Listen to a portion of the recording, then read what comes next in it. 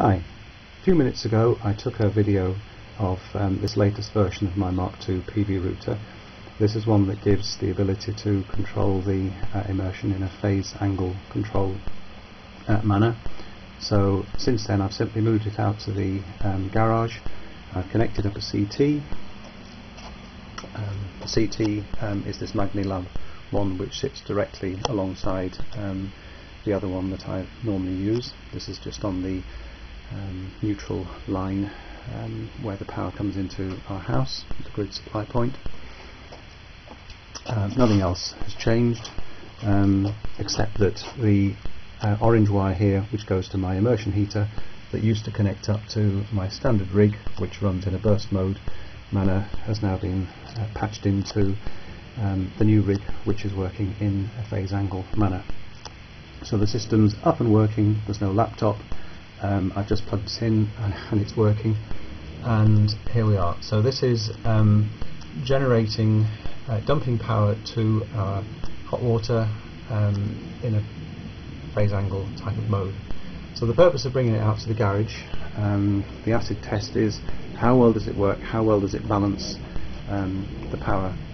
So I hope this is visible, uh, it doesn't look too good, but hopefully the dial is not going round and that tells me that well the, the digital meter here has got its light on. Um, what that tells me is that I'm not importing power which is good. Uh, the system's been sitting here untouched for some minutes. Nothing's been on in the house to my knowledge the odd fridge maybe.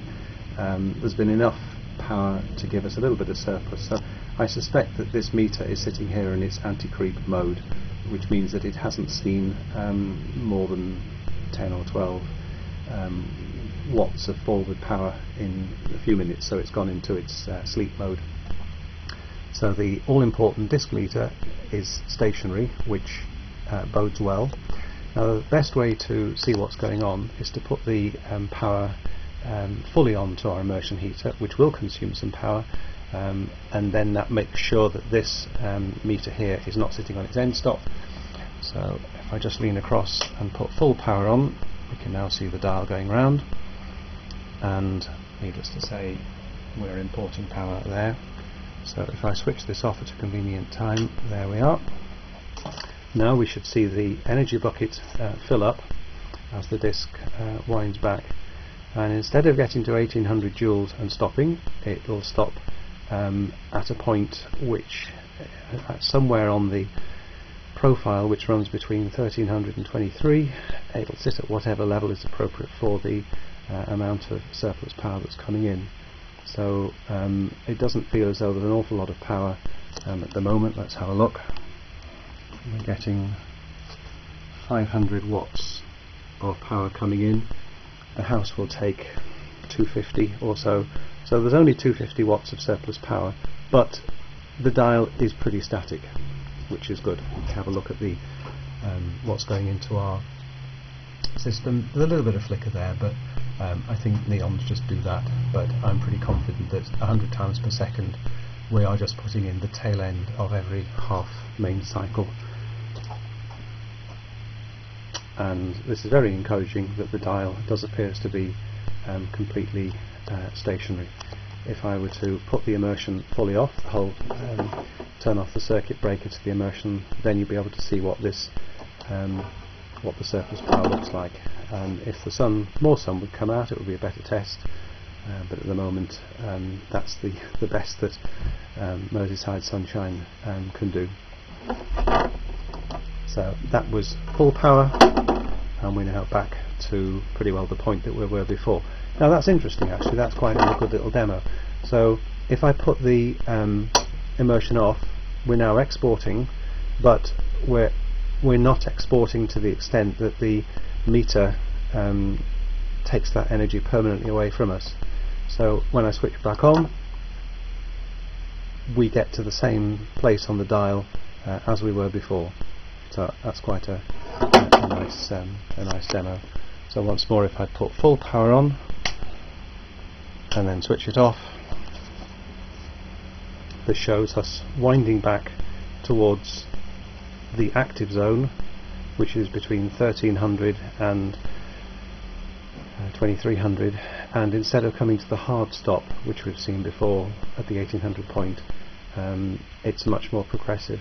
Now it's good to note that there's no obvious oscillation because I've gone to some trouble in the algorithm so that the um, firing time is proportional to the um, level of the energy bucket. So if there's 1500 joules in the energy bucket, that's 20% up the range, then we will get 20% power and the firing time is adjusted um, by the algorithm in the later sketch uh, according to that.